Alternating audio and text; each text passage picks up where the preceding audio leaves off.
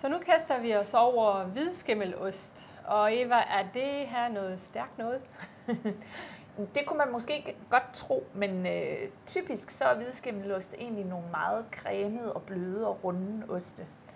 Øh, det kan sagtens være, være kraftigere, alt efter hvordan de er lavet. Men den hvide dame, som vi har stående her foran os, øh, det er en utrolig mild og lækker og fed ost. Og vi, øh, den hvide dame, tror, fandt vi frem til, at hun skulle have champagne. Ja. Så det er faktisk en rigtig god kombination. Sådan nogle cremede ost, og mm, både bobler og syren, som champagne har, er rigtig godt til at rense munden efter det cremede. Så her har vi en uh, Premier Cru champagne. Mm. Øh, den er bry, og det er fra Doyer Mahé. Det er en kvindelig winemaker, mm. så den er super elegant, øh, vinen. Så den anden vin, det er noget helt mere kontrastfuldt, noget helt andet. Det er en øh, rød Bordeaux, en øh, ung Bordeaux faktisk, fordi den har stadigvæk den her specielle duft af, nu siger jeg det, af ymer. ja. Vinen, der kan dufte af ymer, og vin kan godt have nogle duft af mejeri. Og det kommer fra de her mælkesyre, mælkesyrebakterier, der, der, der bliver dannet. Og det er der, hvor vi finder et match med sådan en slags ost. Der har også øh, ja, det her fra skimmelen, som, som giver sådan lidt det her også mejeri og selvfølgelig og ymer ja. duft. Altså det er i hvert fald sådan kendetegner den hvide dame, det er, at der er også en lille smule kernemælksagtig syrlighed i eftersmagen sammen med fedmen. Øh, og, og skimmelen er faktisk en lidt anderledes hvidskimmel end typisk hvidskimmelost er. Det hedder geotrichum, som er en gærkultur.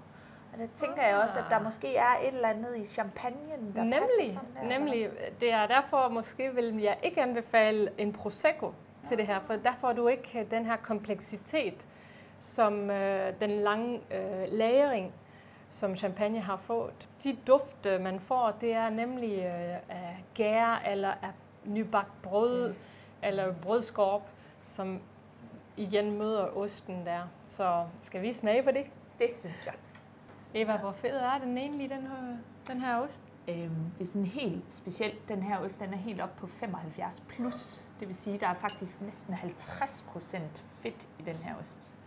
Øh, og det betyder faktisk, at det er ret godt håndværk, for det er rigtig svært at lave en ost, der er så fed. Og det kan vi også smage, tror jeg. Ja. Skal vi prøve den vide? Det skal vi. Mm. Så masser af smør, og så den der ja. Syrlighed i eftersmagen, så det ikke bare er, den er, er fedt. Den er helt lindrende. Mm. Den er sådan, åh, balsam. Når jeg lige smager det til champagne.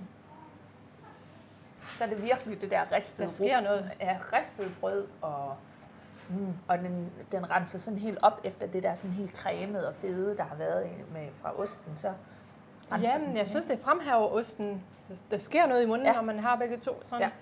Mm. Man kan smage skimmelen, faktisk. Ja. Ja, men ikke på den dårlige måde. Nej, det her, det, ja, det, kunne, det kunne man sagtens uh, slutte af med. Man kan ja. sagtens efter rødvin gå over til noget champagne med ost. Hvorfor ikke? Mm. Der er ikke nogen regler. Nej. Altså, at man ikke må. Skal vi prøve med rødvinen? Mm. Lige smag. Jeg vil sige, allerede i duften, mm. så, så møder de hinanden. Ja. Den uh, renser munden på en anden måde. Ja.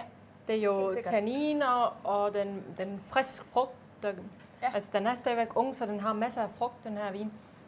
Så det, det spiller godt, men ja. det er ikke en typisk. Det her det er meget atypisk at sætte uh, en creme ost med en rødvin. Helt sikkert. Men, det, men, det, men den gør noget andet. Den dæmper måske lidt skimmelsmagen, synes jeg.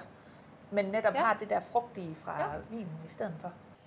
Så det vigtigste, når du skal vælge vin til hvidskimmelost, det er øh, at tænke på, at øh, det er meget creme tekstur, den skal vi have en vin, der, der kan rense munden. Så en vin med høj syre, en vin med bobler for eksempel, her i Champagne.